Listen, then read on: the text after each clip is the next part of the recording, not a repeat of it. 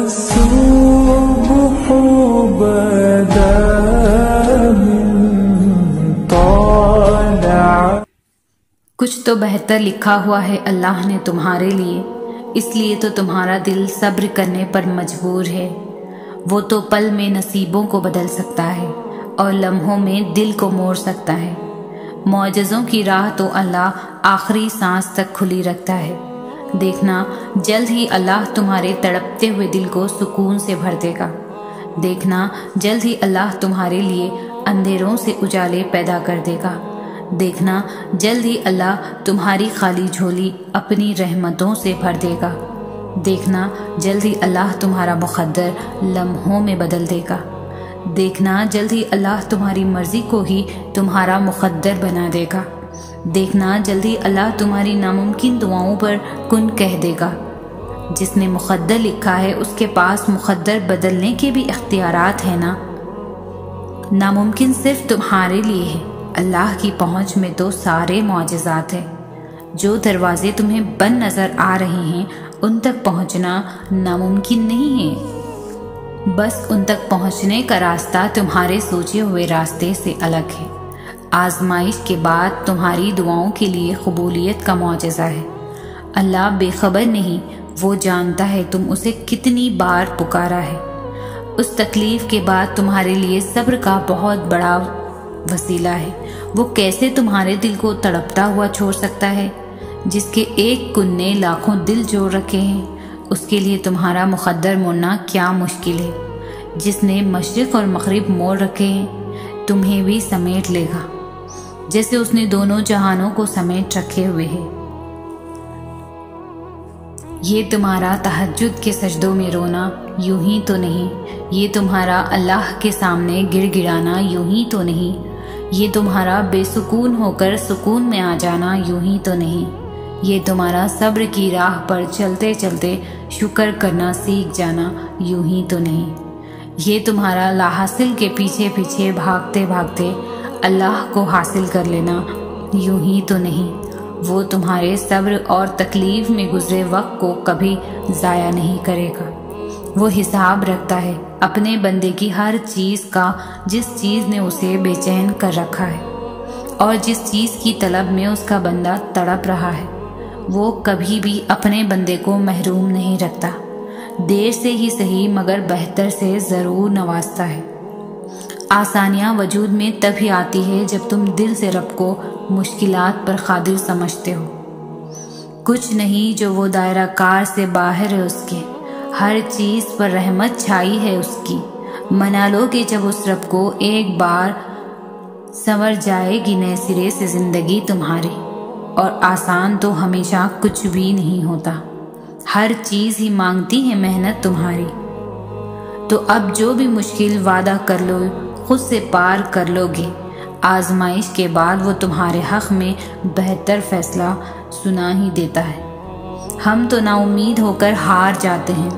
दुआ करते करते थक जाते हैं, मगर वो तो फिर भी हमारी दुआओं को कबूल करता है। वो बस कबूलियत में देर करता है, क्योंकि उसमें हमारी कोई बेहतरी छुपी होती है। वो तो रहीम है, वो हमारी दुआ रद्द नहीं होने देता। वो हमसे सत्तर माओं से ज़्यादा प्यार करने वाला है। वो देख भी रहा है, वो सुन भी रहा है। इंतज़ार करो, वो जवाब ज़रूर देगा। अभी तुमने देखा ही कहाँ है, कुन के मुआजे हो जाना। अभी तुमने देखा ही कहाँ है, अल्लाह का तुम्हारी दुआ को सुन लेना। अभी तुमने देखा ही कहाँ है, तुम्हारे रब का रहमान होना। अभी तुमने देखा ही कहाँ है, रोती आँखों का मुस्कुरा देना। अभी तुमने देखा ही कहाँ है, उस आरज़ू का पूरा हो जाना। अभी तुमने देखा ही कहाँ है, सजदे से सर उठने से पहले ही दुआ का कबूल हो जाना। सब बदल जाएगा। तुम तुम्हारा वक्त, तुम्हारा आने वाला कल, तुम्हारा गुजरा हुआ कल। तुम क्या चाहते हो? तुम रात को सो और सुबह उठो और सब ठीक हुआ हो। तुम्हें नहीं तुम्हें नहीं, तुम्हारा दर्द नहीं, तुम्हारी सोच तुम्हें तंग कर रही है। तुम्हारा दर्द तुम्हारी सोच में बैठा है जो ना तो तुम्हें आगे बढ़ने दे रहा है और ना पीछे। तो टूटे दिल का फ़ायदा नहीं उठा रहे हो तुम या तो उसे मजीद सुनना चाह रहे हो या उस, उसको उसी वक्त ठीक करना चाह रहे हो। ना तो तुम खुद पर भरोसा कर रहे हो ना उस ज़ात पर। वो तो दिलों को बदलने पर खादिर है। क्या तुम्हें तुम्हारा रब काफ़ी नहीं है? तुम एक कदम उसकी जानी बढ़ाओ तो वो दस कदम तुम्हारी तरफ़ बढ़ाएगा। यकीन रखो। हम मुश्किल हालात से घबरा क्यों जाते हैं? अल्लाह जब एक दरवाज़ा बंद करता है तो कई और दरवाजे खोल देता है, वहाँ से जहाँ से हमारा गुमा भी नहीं होता। गौर फ़िक्र तो हमें करना ही नहीं है। अल्लाह वाहिद यकीन और उम्मीद है, जो इंसान को टूटने नहीं देता। दुआ और यकीन, वो दो बड़े हथियार हैं जो नामुमकिन को मुमकिन बना देते हैं। मायूस ना हो, वो अपने रब की मोहब्बत पर मुकम्मल यकीन रखे हुए। है उसके रहमान होने पर यकीन रखें और याद रखें, उसके हुक्म के बगैर कुछ भी मुमकिन नहीं। जब कभी लगे कि ना कोई तुम्हारा है तो आसमान की तरफ़ देखना। जो अल्लाह है, वो हमेशा तुम्हारा है। अल्लाह ने तुम्हें छोड़ा नहीं है। अल्लाह तुमसे बेजार नहीं हुआ।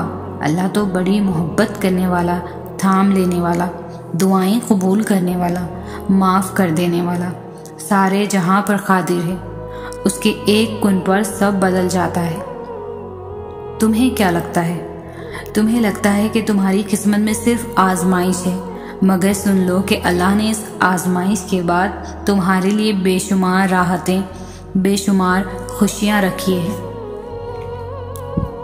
तुम्हें लगता है कि तुम्हारी दुआओं में असर ही नहीं, तुम्हारी दुआएँ उस लायक ही नहीं कि उन दुआओं को कबूल करें, मगर ऐसा नहीं है। ये सिर्फ़ आपकी गलत फहमी है, मगर तुम अंदाज़ा भी नहीं लगाते कि तुम्हारा बार बार दुआ मांगना अल्लाह को कितना खुश करता है, और हर बार दुआ पर अल्लाह तुम्हें कितना अजर देता है।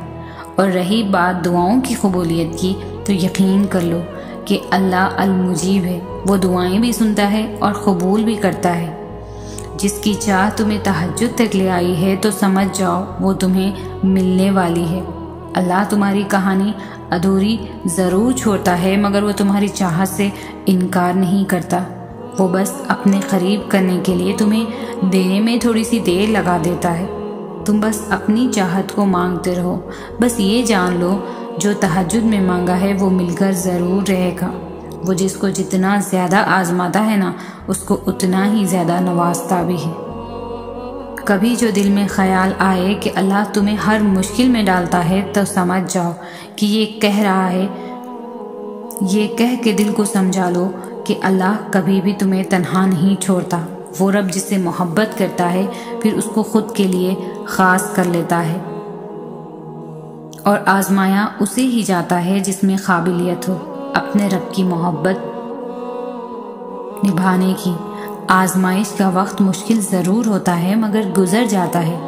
आजमाइश में किए गए सजदों में बड़ी ताकत होती है। वो अपने रब से अपनी बात मनवा ही लेती है। आजमाइश में किए गए सब्र में बड़ी मोहब्बत छुपी होती है, जो अल्लाह से अपने बंदे की हर दुआ पर कुन कहलवा देती है। जो वक्त आज है, वो दोबारा नहीं आएगा। मगर जो अल्लाह का साथ और मोहब्बत की की है, वो अब कभी वापस नहीं लिया जाएगा। सजदे इंसान के बस में नहीं होते। दुआओं के फैसले अल्लाह अपने हाथ में रखे हुए हैं। किसको तकलीफ़ देनी है और किस को नहीं, उसका फैसला सिर्फ़ अल्लाह खुद करता है। आजमाइशों से मुआजों तक उसके हुक्म से होता है। मगर जानते हो, कायनात में एक चीज़ ऐसी भी है, जिसका फैसला उसने सिर्फ़ तुम्हारे हाथ में रखा हुआ है।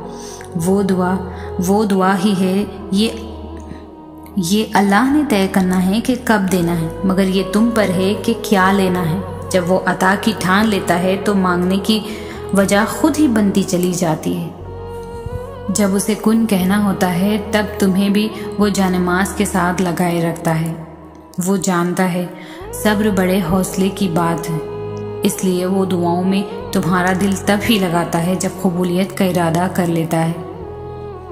तुम उससे खतरा मांग रहे हो, वो रब तुम्हें समंदर देने का सोचे हुए है। तुम कहते हो, तुम मुकम्मल टूट चुके हो, लेकिन दर हकीकत वो रब तुम्हें अब भी थामे हुए है। आगाज़ जितना मुश्किल लग रहा है अख्ताम भी वो रब उतना ही हसीन देने का सोचे हुए है। अब भी वक्त है, मोड़ लो अपना रास्ता, खुदा की जानिब। वो रब की। वो रब अब भी तुम्हारा इंतज़ार किए हुए है। तुम खुदा के होकर तो देखो, खुदा पूरी दुनिया को तुम्हारा ना बना दे तो कहना। तुम सब्र का दामन मजबूती से थाम लो कि वो रब दोनों जहानों का सुकून तुम्हारी झोली में डालने का सोचे हुए है। उस रब ने तुम्हें बेहतरीन देने का सोचा हुआ है। तुम प्यारे हो अल्लाह को और आजमाया प्यारों को ही जाता है।